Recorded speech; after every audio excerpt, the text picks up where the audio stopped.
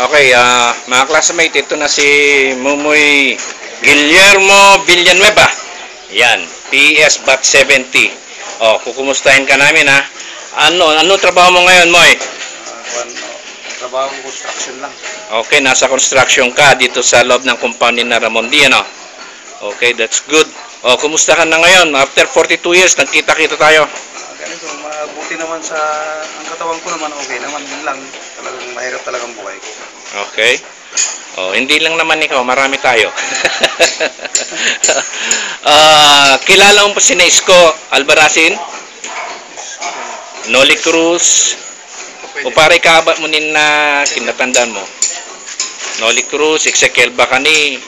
Oh, sige, baka. Oh, ta siyempre kintan pa. nasa Amerika na yan. On, on. Ang nagplano na itong reunion natin sa abroad. No, bali tayo lang organizer dito.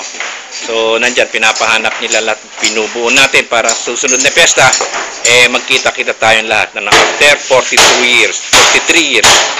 Yun. Ano? Ab si, si Ruby, Oh, si Ruby, yun ang Ah, yan. makalimutan. Ah, Saan siya okay. ngayon? Cavite. Nasa Bacoor siya, yun. Yung isa ring matagumpay na ano yun, Oh, dok, yun. Oo. Doktora yata yun. Doktora, pati asawa niya, doktor din, ah, kaya ganun. Yun ang classmates ko na ngayon. Oh, yun ang... Chicks. Hmm, sa- anong section yun? Oo, na section namin. Oo. Si Ruby. ako. Si Ruben natatandaan mo. Ko. Oo.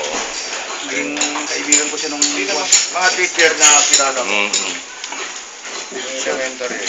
Kung lang sa amin. Oh, sige, bumati ka na sa kanila. Marami na rin. Batiin mo sila, i-wish mo sila na sana magkita-kita tayo sa reunion.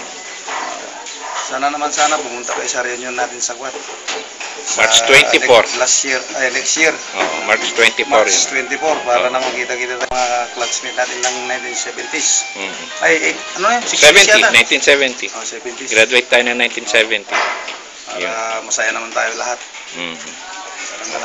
So yan mga kaibigan, ang ating matalik na kaibigan 42 years after Moy Moy Villanueva. Boss, Ah, yung oh. ako kasi may Oh,